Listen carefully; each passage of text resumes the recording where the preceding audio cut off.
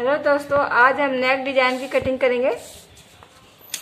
तो मैंने इसमें शोल्डर रखा है, छह इंच छह इंच पर हम इसमें आर्म होल का निशान लगाएँगे। और इसका हम इस तरह से बॉक्स बना देंगे। बॉक्स बनाने के बाद इसे राउंड से देते हुए मैंने इसे गोल कर दिया। अब हम चेस्ट पर निशान लगाएँगे तो मैंने इसमें छह इंच पर लगाया। चौथाई हिस्सा। अब कमर लिए इसमें साढ़े पाँच। और हिप रखिए इसमें सात इंच अब इन दोनों पॉइंट इन तीनों पॉइंट को हम इस तरह से मिला देंगे। मिलाने के बाद अब मेरे पास इतना यहाँ पे बच नहीं रहा कप, अखबार तो मैं इसी में ही एडजस्ट कर लूँगी इस तरह से। तो ये हमारा कंप्लीट हो गया। अब हम गले पे चलते हैं। तो गल, गले की चौड़ाई मैंने इसमें ढाई इंच रखी है और लेंथ इसकी मैंने पाँच इंच रखी है।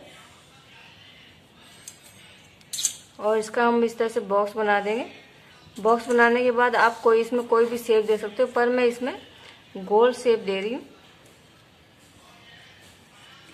इस तरह से।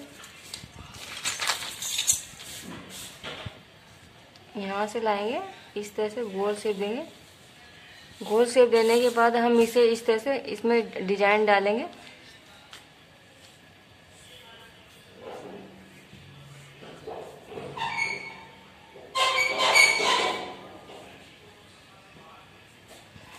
इस तरह। तो हम पहले शोल्डर को डाउन करेंगे। मैंने कर इसमें करा नहीं था तो अब कर रही हूँ। तो इस तरह से हमारी ड्राफ्टिंग हो गई। अब इस, इस, इसी पर हम कटिंग करेंगे इस तरह से।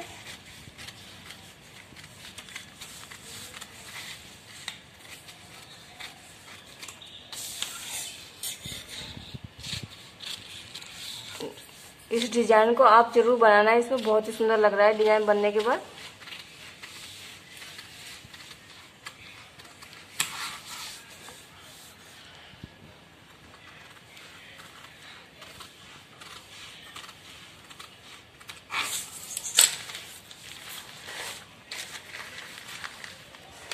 तो हमारा डिज़ाइन इस तरह से बनकर तैयार हुआ।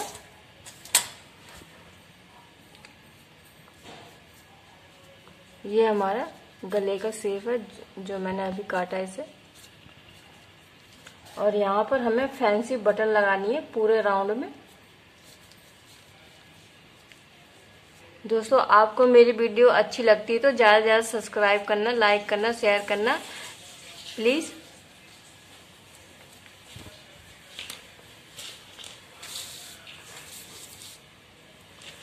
यहाँ पर हम चार तरफ़ इस तरह से बटन लगाएँगे फैंसी तो बहुत ही सुंदर गला बनकर आएगा हमारा।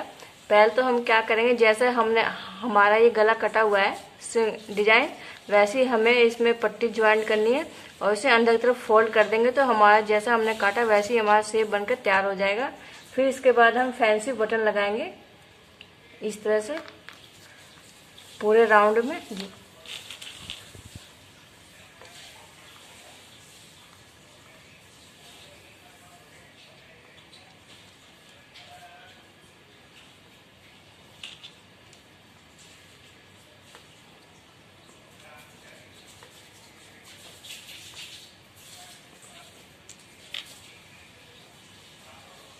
तो इस तरह से मेरा डिज़ाइन बनकर तैयार हुआ दोस्तों।